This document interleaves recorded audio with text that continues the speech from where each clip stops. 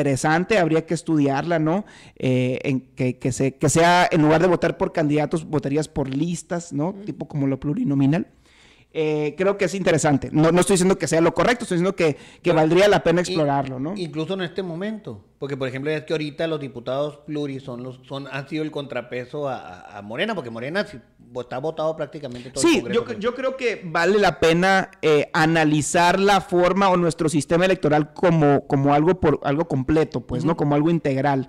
Eh, y dejar de estar parchando una ley electoral que se hace cada seis años. Pues. Uh -huh. Entonces, creo yo que si cambiamos el, creo yo, por ejemplo, que hace falta ahí en esa reforma el tema de una segunda vuelta. Creo que sería muy interesante. El tema de, de gobiernos eh, de coalición, ¿no? En donde el, el, el, Ejecutivo también tenga que integrarse por miembros de los diferentes partidos y se tenga que gobernar de forma coaligada o de forma, este, pues, que representaría un, un, un, reto político, ¿no? Y que el presidente no tendría ese poder supremo o, completo desde el punto de vista del Poder Ejecutivo. Creo que hay muchas áreas de oportunidad a la hora de que vemos nuestro sistema electoral, que tampoco es eh, inventar el hilo negro, hay países que así lo, que así lo hacen, con regímenes parla parlamentarios eh, muy diferentes al, al, que tenemos nosotros aquí, eh, etcétera. Creo yo que es, eh, hay muchas áreas de oportunidad. Creo yo que la gente que salió a marchar ayer no estaba tan enterada en su mayoría de por qué estaba, eh, cuál era el tema electoral, era, era, más bien un tema de estar en contra de, los gobiernos eh, de la 4T y, y, que creo que se vale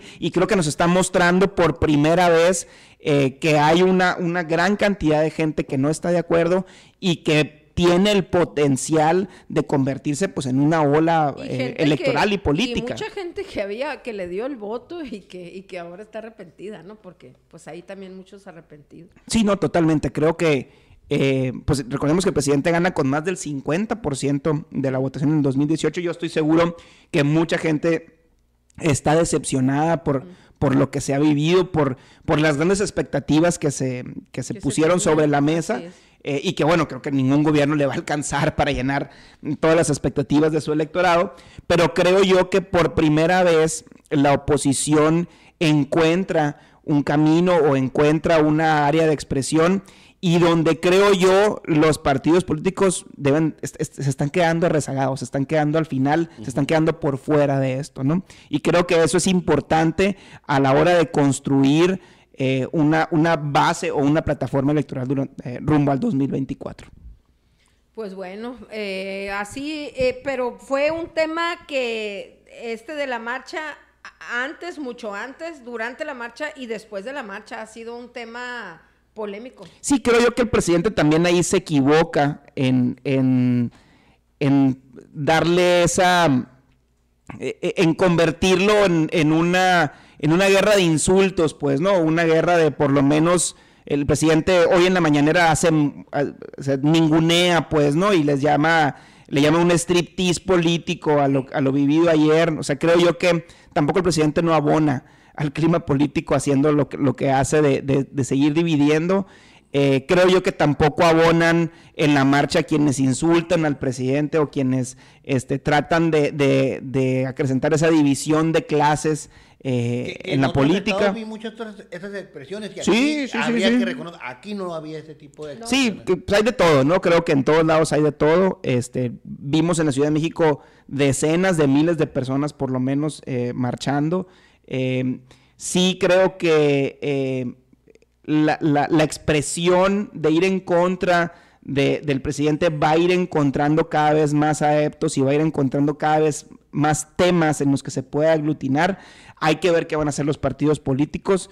Creo yo que tienen la oportunidad de hacer una gran alianza opositora. Vamos a ver si, si, lo logran, ¿no? Por las expresiones del presidente y todo esto, ¿tú consideras que el INE sería el enemigo el enemigo público, porque es un ente público, al final de cuentas, número uno del presidente de la República. No tendría por qué serlo, ¿no? Pero el, el, lo es, ¿no? Es que, porque es que lo rechazó. Dos veces no le dio la victoria o, o, o avaló lo que él consideró un fraude. Pues. Sí, yo creo que, pero al final de cuentas el INE actual es el que sí le reconoce la victoria, claro, ¿no? Claro, el INE actual, no, acuérdate que surge en el 2014. Es que, es que cualquiera diría, pues sí, bueno, ¿cuántos gobiernos tiene Morena en el país? O sea, en tan poco tiempo de Morena, o sea pues es un absurdo que... ¿Y Pero- cuánto pero tiempo Lorenzo tiene Córdoba- financiando el sistema electoral mexicano a Morena Pero también? Lorenzo Pues, Córdoba ¿no? ha sido Sí. el presidente de aquel y de este, pues, ¿no? O ha estado ahí, ahí como una figura en, en- este... No, so- eh, según yo son, son diferentes, ¿no? Porque el, este, el INE como tal, que antes se llamaba IFE, surge en el 2014. Sí. O sea, eh, Sí, es, es- previo, es posterior al 2012 y previo al 2018. Entonces,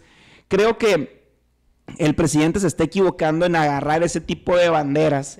eh, y, y- y de pelearse con el árbitro electoral, que la gran mayoría de la gente lo ve bien, pues les digo ahorita el 76%. Sí, sí, Entonces, me parece a mí que hay otras batallas políticas más importantes o que tendrían mayor rédito político para el presidente que esta en donde lo único que está haciendo es que se aglutine una oposición en contra de él. Sí, Entonces, porque, porque si ya están así, o sea, si ya se juntó la gente, ya salió a las calles, pues mañana va a salir por otra cosa y por la inseguridad, vaya que pueden salir o podemos salir muchos. hay que, hay que esperar a ver qué va a pasar hacia adelante, ¿no? Si va a una figura que pueda aglutinar a esta oposición, lo veo difícil.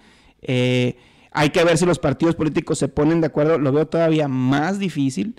Eh, pero creo yo que la sociedad civil en su conjunto ya está dando muestras de, de una, pues de, de pedir un cambio en, ese, en el sentido de lo que estamos viviendo eh, en, cuanto al, en cuanto a la nación, pues, ¿no? En cuanto a seguridad, en cuanto a política, en cuanto a economía, en cuanto a muchos temas. Muy bien, pues como siempre, gracias Daniel Rivera, director de Macrodata Analítica. ¿Dónde te siguen los comaleros? Gracias a ustedes por el espacio. Estamos para servirles en redes sociales, en Facebook e Instagram como macrodata.mx. Estamos también en Twitter como arroba macrodatamx. Y en mi cuenta personal de Twitter también los invito a que me sigan, arroba DannyBoyR. Muy Perfecto. bien. Vamos a hacer Gracias. una pausa. Gracias por seguir.